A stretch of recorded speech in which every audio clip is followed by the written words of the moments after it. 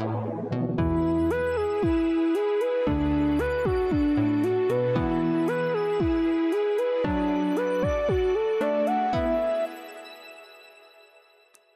for dropping in.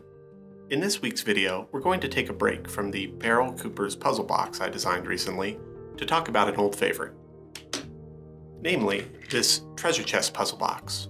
When I first designed this, I played around with printing it at larger scales. There's always kind of an issue when you're printing a mechanical object at a larger or smaller scale. Not only do you change its dimensions, you also change the spacing between moving parts. And when you increase the size and you increase that space, pieces can start to feel a little bit sloppy and not quite work together. For that reason, I never released a larger version of this puzzle officially. That changes with this design. This 200% scale treasure chest puzzle box is not only a larger version, but it has been designed from the ground up to have all the appropriate spacing between all of its moving parts. It also has a nice texture on it to take advantage of the extra surface area that the larger design affords. Assembly is the same thing as before, so if you are printing one of these up, I recommend checking out that video where I cover how to assemble the regular size treasure chest puzzle box. The solution to the puzzle is also the same as it was before. I'm going to go over that again now, but if you don't want to be spoiled, now's when you want to stop the video. As with the original design, the puzzle mainly is based off of the sliding of these various slats when the puzzle is sitting at a specific orientation. In the case of the first slat, which is the topmost one, you want the puzzle to be perfectly straight upside down.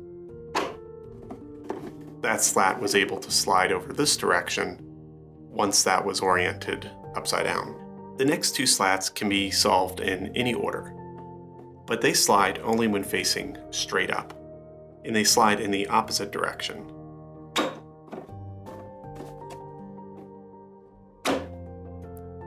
Now that all the slats are unlocked, the bottom of the puzzle comes loose and can be pulled up. Like so. Unlike the smaller version of this puzzle, I've simplified things and reduced it only to the most recommended pieces so this flip lid, by default, is the flip lid container. And all the slats are this recommended configuration, where three of them are riveted slats. As with the original design, there is a hidden secondary compartment here, although I made this very tight in this version, and you may need to push it slightly against the table to get this to slide off.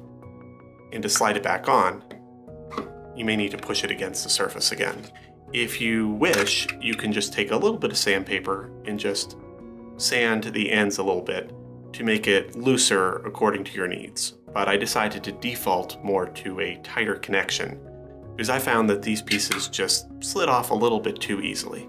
And that's it for this week. All these files will be posted for free on Thingiverse, so you can download, assemble, print, and share your own copy. Next week, we'll be returning back to the Barrel Cooper's puzzle where I'm going to talk about the design process involved. Until then, thanks for stopping by.